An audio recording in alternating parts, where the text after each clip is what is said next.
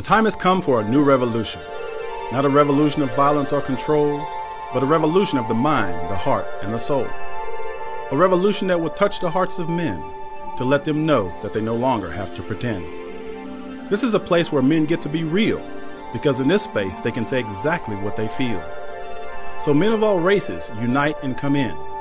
This journey will challenge you to look deep within. So now, let the new revolution begin because it's time for a new conversation with men.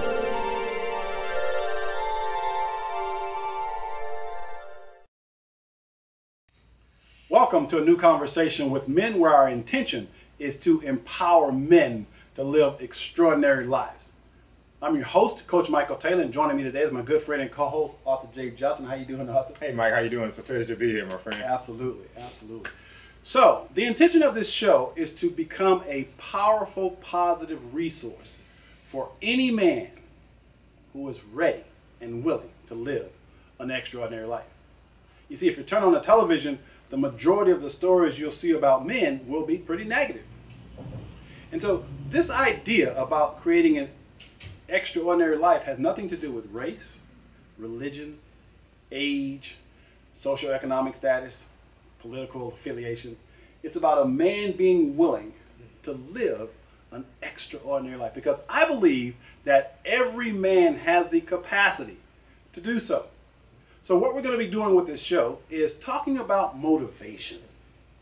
You know, from a male perspective, I think a lot of us are maybe a little unmotivated because the roles of masculinity are changing so rapidly and a lot of men have experienced layoffs because of the economy and I think a lot of men are just well, maybe stuck. That's mm. probably a good word, mm-hmm. stuck.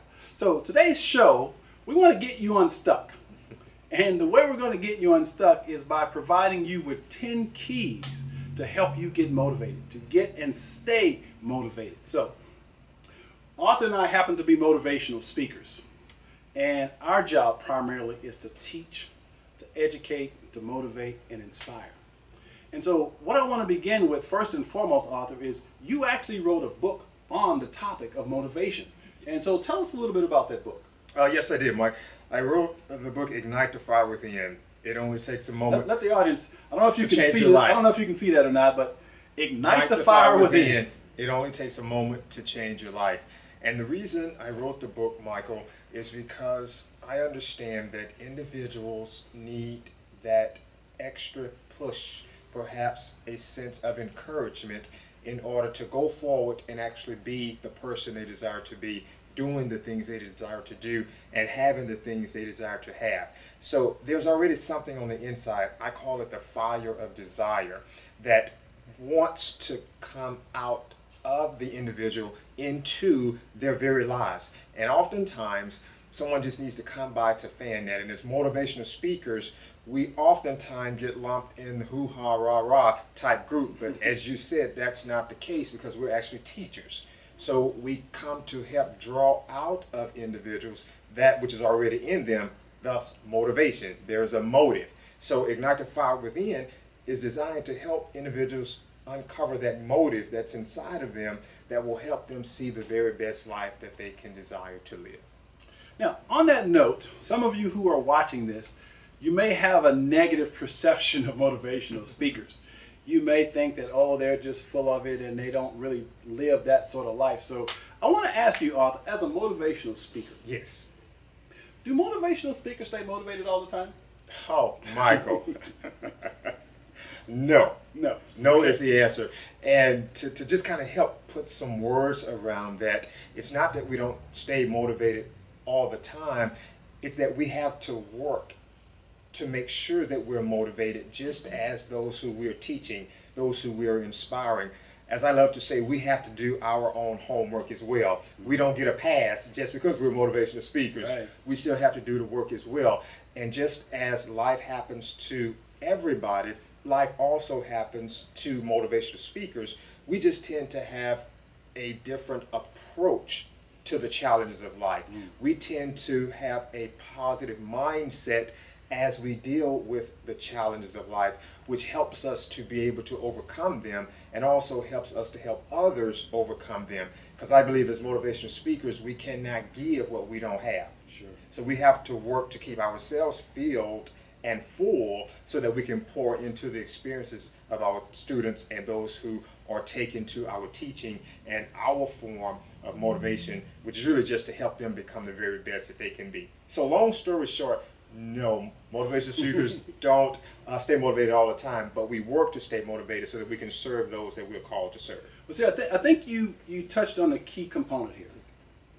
As a speaker, what we have learned to do is to recognize that life happens.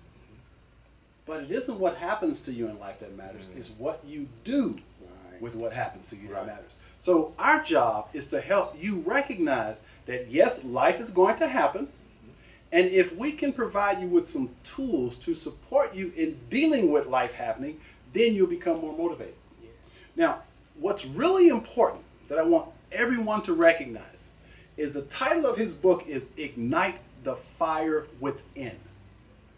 And that's a very powerful point because what I know, I don't just believe this, what I know is if you're watching this show right now, you have that fire within you. Every human being has that fire within them. Unfortunately, we live in a culture that suppresses and represses that fire. And our job as motivational speakers is to ignite it. We want to light it up. We want you to get fired up about life because what I know is despite all the negative stuff you may see in the media, you have within you the capacity to be, to do, to have anything your heart desires. And so the intention of this show, A New Conversation with Men, is to ignite the fire in men to let them know that they have access to everything they need to live an extraordinary life. You see, what a motivational speaker does really is simply overcome obstacles. You ever notice that? There's a, there's a common theme amongst motivational speakers in that they overcame some what we would consider insurmountable obstacle. Mm-hmm. And that's what inspires us. When we see those stories like an Oprah Winfrey, where she was born and how she was raised and the obstacles that she overcame mm-hmm. to become the person that she is, that is motivational. Because what it does is it, tax, it touches our humanness. It lets us know that there's a part of us that has that same ability. So, what we want to do today is we want to share 10 keys, if you will, to help get you and keep you motivated. And so, once again, if you're watching this show, that tells me that you're already committed to living an extraordinary life. And my hope is that you'll continue to tune in and gain more of this wisdom and knowledge that we're going to be sharing on a regular basis.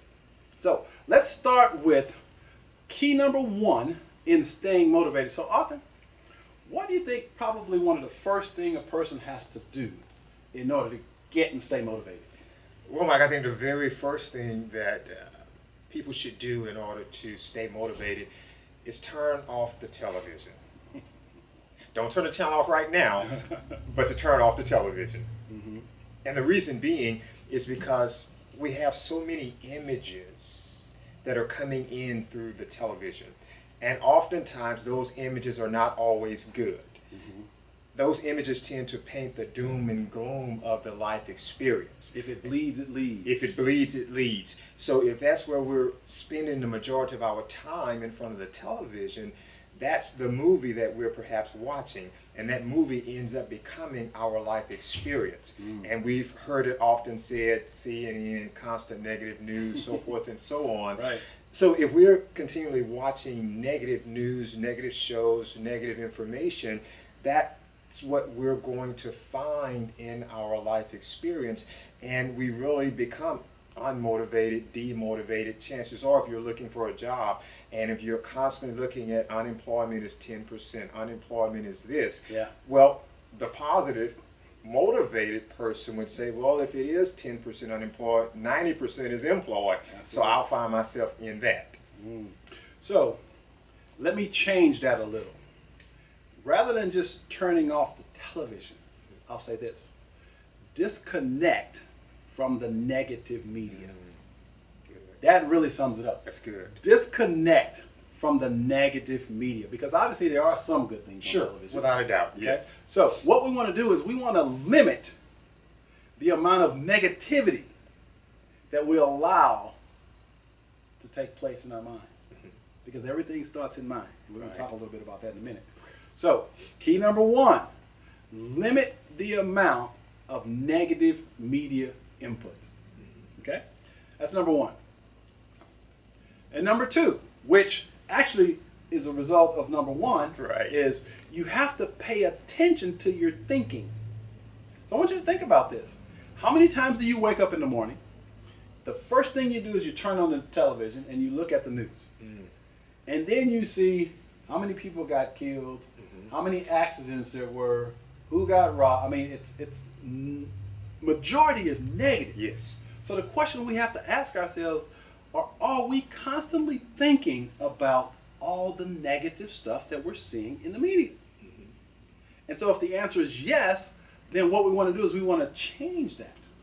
So there's a guy by the name of Mike Dooley. And Mike says this. He says, thoughts become things. Mm. Thoughts become things. So if we're constantly thinking negative, mm-hmm. I believe negative things begin to show up in our lives. Right. So what we must be willing to do is shift that to positive.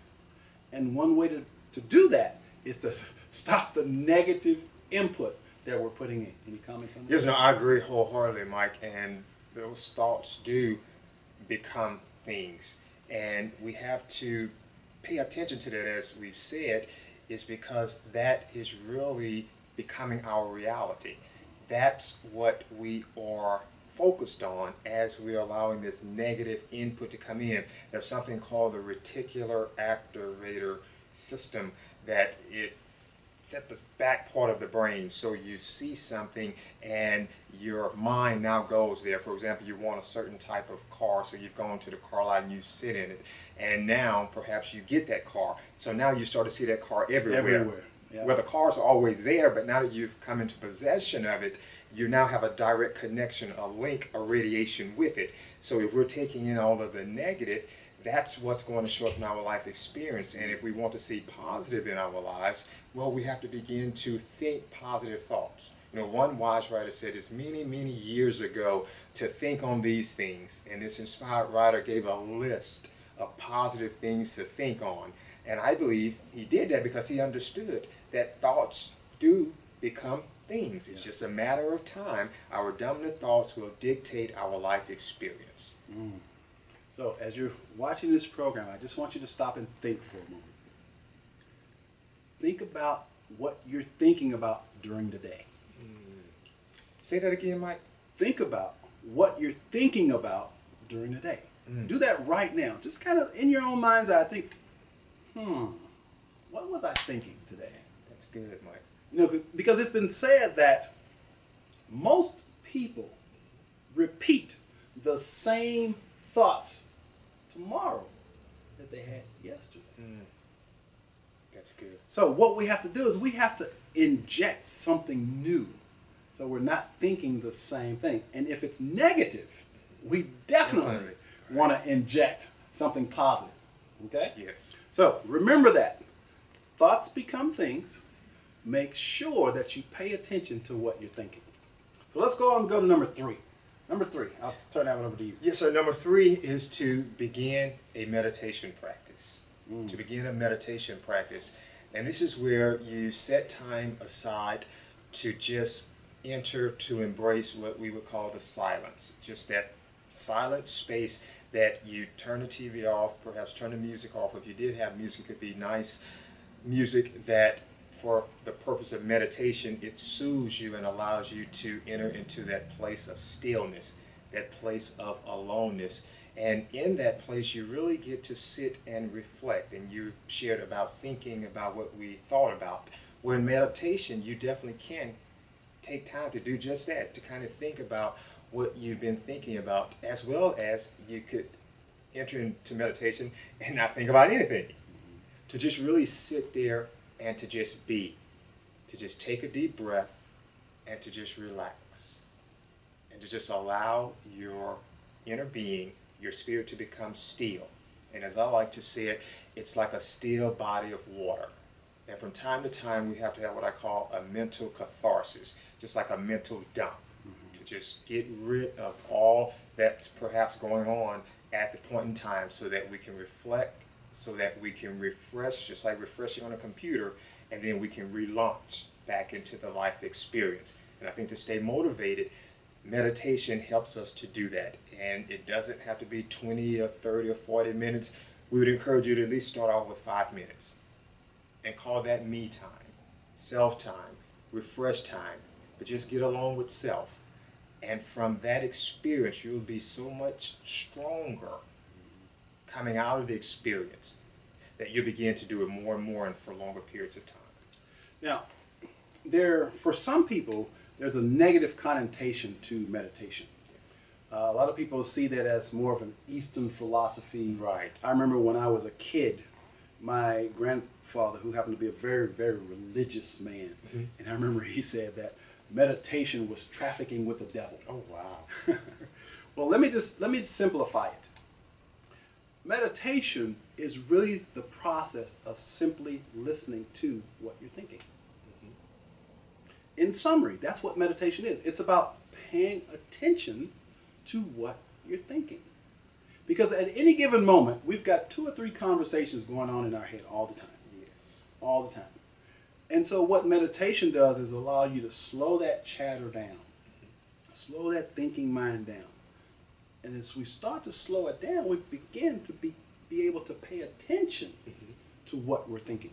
And it's not just an automatic reaction to everything. Right? So meditation, again, is really the process of paying attention to what you're thinking.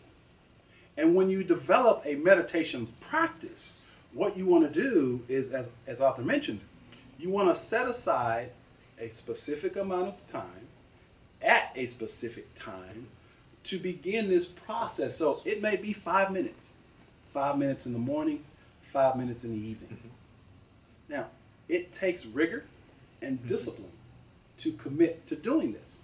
But rest assured, if you commit to it, it will support you in getting to that point where you're in touch with that fire mm-hmm. that we talked about earlier, because that fire is there. I agree wholeheartedly. So that's number three. You want to begin a meditation practice. Number four, and Arthur, we put up your book, Ignite the Fire Within. And so the fourth key, if you want to get and stay motivated, is what? to read motivational books. Absolutely. We are so inundated with negative information. Mm-hmm. It's important that we put in some positive information. Right. And so reading actually is a form of meditation, if you think about it. Because now you're focusing your thoughts, focusing your attention, absorbing what that person is sharing with you. Mm-hmm. So if what that person is sharing with you is negative, guess what happens. Thoughts become things. Mm-hmm. Negative input mm-hmm. creates negative output. Right. So if you're really committed to, if you're really, really, really committed to being motivated, you must put in positive information and a great resource for that, motivational books. Yeah. And there are hundreds and hundreds of them out there. Find someone that motivates you, mm-hmm. that you resonate with, and make a commitment to reading powerful, positive, motivational books. Yes, I agree wholeheartedly, Mike. And Will Smith had made a comment. He had won the Nickelodeon Award, and he was giving his acceptance speech, and he gave two keys to success. And one of them was running, and one was reading. Mm. And the reason he said running is because when you run on the track, at some point in time, there's going to be that little voice that's saying, stop.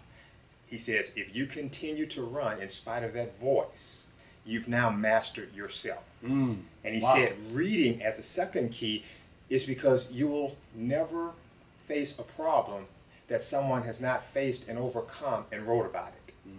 And if you're willing to read what they wrote, you now have the answer to wow. your problem. Awesome. So he gave that as the two keys to success, and he had received the Nickelodeon Awards. So he was giving this to kids. Yeah. So I know if a kid can get it, men can get it as well as everybody else. Absolutely. So let's go to number five. If you feel stuck and it feels as if your life isn't going anywhere, chances are you haven't set any goals to work towards. So, key number five is to set goals. Now, it's been said that without vision, people perish. So, if we personalize that, without goals, we stay stuck. Mm.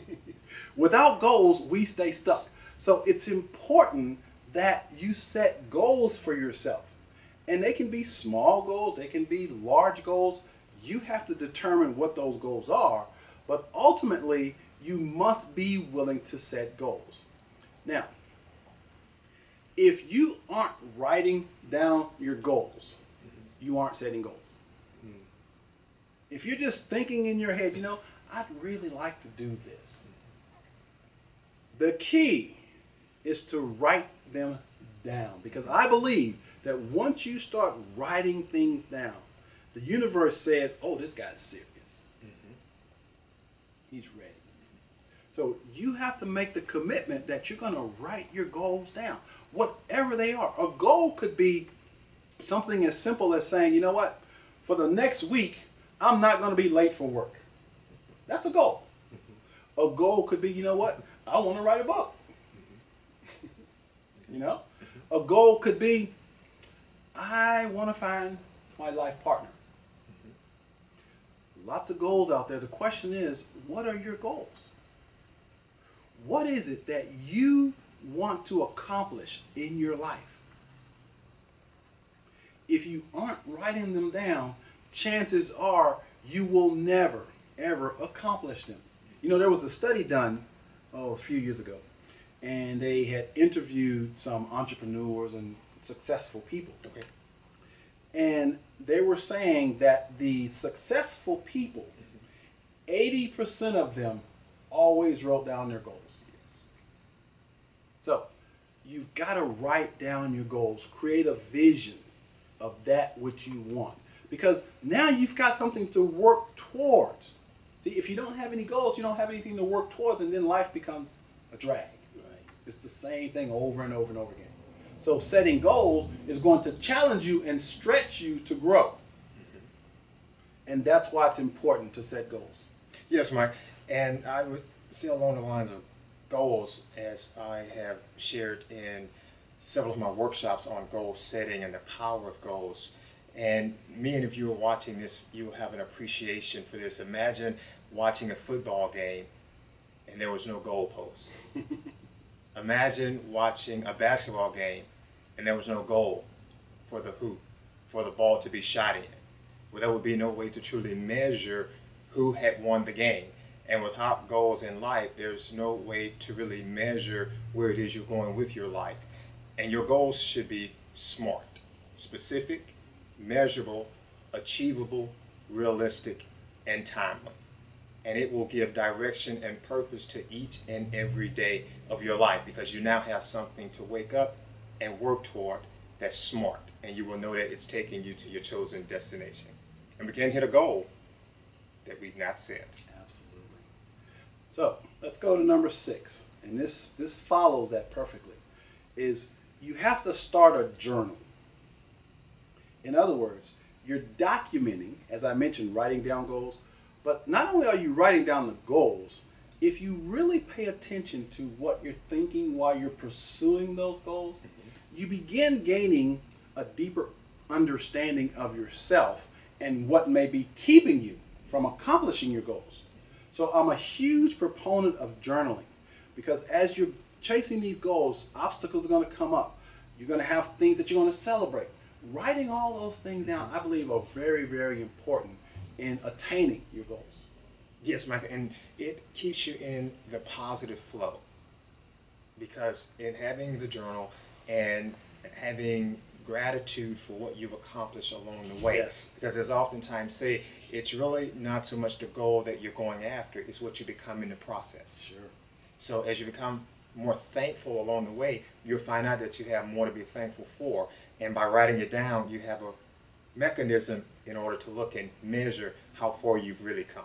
Yeah, one of the most profound things I've ever read is Mary Manin Morrissey wrote a book mm-hmm. called Building Your Field of Dreams. Mm-hmm. And she talked about the importance of having dreams. Okay. And she said this she says, while you're building your dream, you get to a point where you recognize that you thought you were building your dream, but your dream was building you. Yes. So when you're pursuing that goal or that dream, the person that you will have to become as a result of that is that's where you're going to grow. Exactly. And the person that you become, you have to become that person that's able to fulfill that dream, and that takes effort. Mm-hmm. And that's why it's so important to set, to follow some of these tips Right. so that you stay motivated to help you get to that point. Yes, I agree. So let's go to number seven. And if you want to, you know, stay motivated, we talked about goal settings. A good idea is to create what's called a vision board. Because what you want to do is you want to begin in your imagination seeing the things that you want. So if your goal is to create a new company, then on your vision board you could put a picture of an office building. And I say that because that's what I've done. Okay. You, you, you put a picture of an office building and you imagine yourself in that office building running your company. Or maybe there's a car that you really like. You can put a picture of that car. Or maybe there's that woman that you want to attract to your life. You get a picture of a woman that fits the criteria that you look for. So you start putting these pictures mm-hmm. in front of you, and your mind begins going, Well, how can I create that? And then all of a sudden, the universe comes in and says, This is how you can do it. Mm-hmm. So it's important to create a vision board of the things that you want to accomplish in life. I agree, Mike, and it always uh, allows you to see where it is you're going and what it is you're creating. Because oftentimes you may not be able to come up with the true picture within yourself. But if you can find a representation of that, Yes. you now can have the picture come into you. Mm. And once it possesses you, as you stated, the universe begins to bring all the people, resources, talents, and things that are needed and necessary in order to bring that vision into form. Absolutely. Now, let's jump to number eight. And here's one that is personal to me. Okay.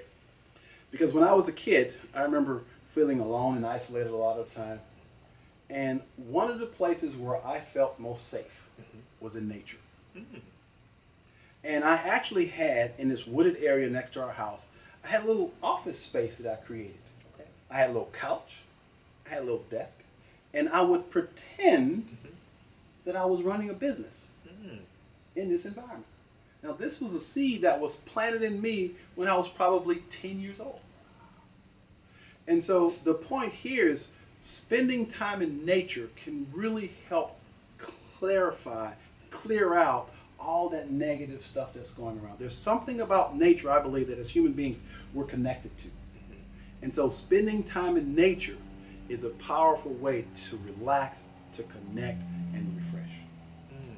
Awesome. And I've got some of my best ideas Yeah. cutting the grass. Oh yeah, absolutely. I- I that's it- nature. That's nature. That's nature, That's exactly. na- without, nature. without a doubt, you become one with it, and it's in that space that it seems like your soul opens up, Mhm. and it's just ready to receive. Oh, beautiful. Absolutely beautiful. So that's number eight. Number nine, if you want to stay motivated, here's something that you must do clean out the clutter in your life. We got a lot of clutter. Think about, just take your cell phone, for example, and think about how much stuff is on your cell phone that you could probably clean out and give you more room on, on your, on your uh, phone or on your computer. But my point here is if you're carrying a lot of unnecessary weight in your life, you got to declutter. You got to get rid of it. Let go of those bad relationships. That's clutter. you know, if you go home and you're stepping over stuff because your house is a mess, it's time to clean that up. You don't have to be a clean freak, but you want to, when you get home, have that place as your sanctuary. And so you want to clean out any excess excess clutter that may be in your life. Yes, Mike, and I wholeheartedly believe that because everything is energy. Mm-hmm. And where there is clutter, there is a constriction of energy. Energy cannot flow. As I love to say, success cannot get into crowded places. So when we clear away the clutter, when we clean our minds and everything else, well, there's just a free flow of energy. So now we can move into those places of motivation where we desire to be and where we desire to stay. Mm, beautiful. And last but not least, if you want to stay motivated, make time to have some fun. You see, I believe, especially as men, we are way too serious about life, about stuff. It's time to loosen up and have some fun. When was the last time you laughed until you cried? When was the last time that you felt that, that joyfulness, that playfulness that you had as a child? Well, the truth is, it's still in you. Mm-hmm. You just have to access it. Yes, and life was meant to be fun. Absolutely. That, uh, that, that really sums, sums it up. Life was meant, life to, be meant to be fun. So, yes. so what we've just shared are 10 keys that I believe can support you in being motivated. I hope that this has been inspirational. Arthur, I want to thank you for spending a few minutes with us, sharing your wisdom, sure. and looking forward to having more shows with you. I want to give you an opportunity to close with any closing thoughts that you might have. Well, Mike, I just want to say once again, it's a pleasure to be here with you, to be here with the listening audience. It's always great to get together with you to be able to share, and it's been an awesome time for me, and I look forward to coming back again. Great. Well, again, I really love having you here. Really looking forward to some new episodes of A New Conversation with Men. And I want to close by saying that an extraordinary life is within your grasp, but it's your responsibility to grab it. So grab it. Take care.